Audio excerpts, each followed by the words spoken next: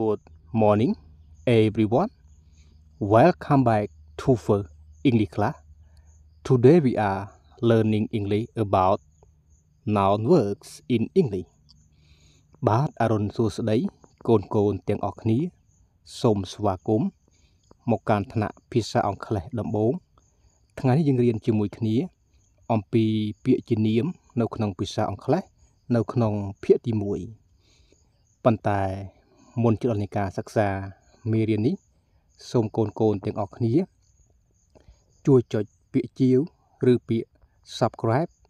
ដល់ Channel YouTube របស់លោកគ្រូម្នាក់មួយផងអូខេ let's me start now ជាងកូនកូនបានដឹងនិយមន័យហើយអ្វីទៅគឺជានាម នាមគឺជាពាក្យដែលបញ្ជាក់អំពីឈ្មោះនៃមនុស្សទីកន្លែងវត្ថុឬក៏សត្វ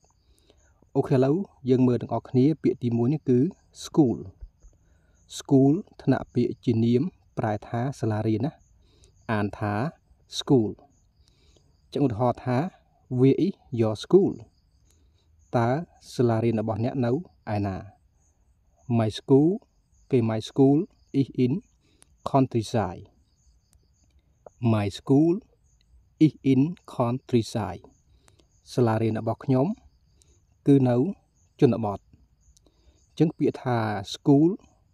ថ្នាក់ពាក្យជានាមណាប្រែថាសាលារៀនអញ្ចឹងនាមបញ្ជាក់អំពីទីកន្លែង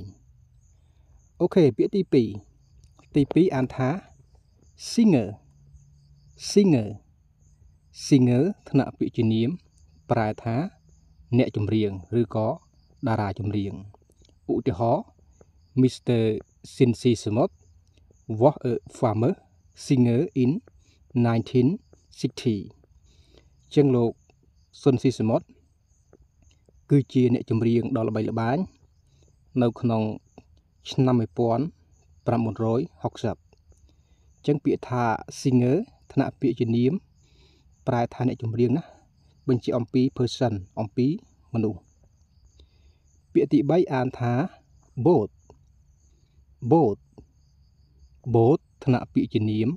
ប្រែថាទូកឧទាហរណ៍ I go fishing by boat I go fishing by boat ខ្ញុំទៅ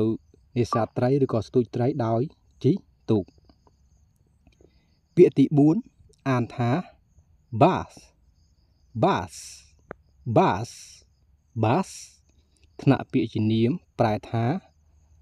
រថយន្តក្រុងឬក៏ឡានក្រុង បញ្ជាក់អំពី sing បញ្ជាក់អំពីវត្ថុណា I try to bus ខ្ញុំបើកឡានក្រុង ពាក្យទី5អានថា countryside countryside ថ្នាក់ពាក្យជានាម ប្រែថាជនបទឧទាហរណ៍ I live in countryside I live in countryside ខ្ញុំរស់នៅ ជនបទឬក៏ខ្ញុំរស់នៅទីជនបទពាក្យទី6អានថា actress actress actress ថ្នាក់ពាក្យជានាមប្រែថាតួសំដែងស្រី នាមបញ្ជាអំពី person អំពីមនុស្ស She is a famous actress in Thailand នាងគឺជាតារាស្រីដ៏ល្បីនៅក្នុង ប្រទេសថៃ ពាក្យទី7អានថា University University ថ្នាក់ពាក្យជានាមប្រែថាសាកលវិទ្យាល័យនាមបញ្ជាអំពីទីកន្លែង They teach English in university They teach English in university ពួកគេបង្រៀនភាសាអង់គ្លេសនៅសាកលវិទ្យាល័យពាក្យទី8អានថា tractor tractor គេ tractor ប្រែថាត្រាក់ទ័រ the farmers use tractor instead of ox ចឹងកសិករជាច្រើន ប្រើប្រាស់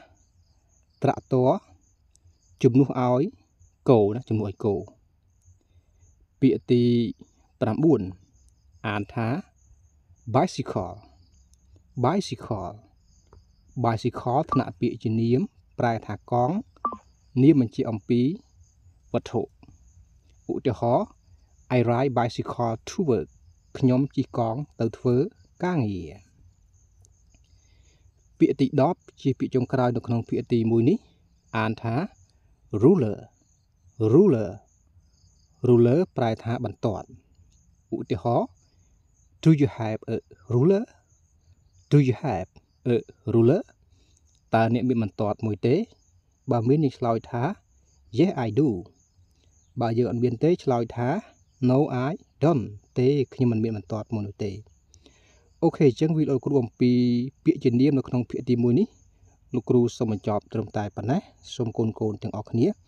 រងចាំតាមដានទស្សនានៅវីដេអូភាគទី2បន្តទៀត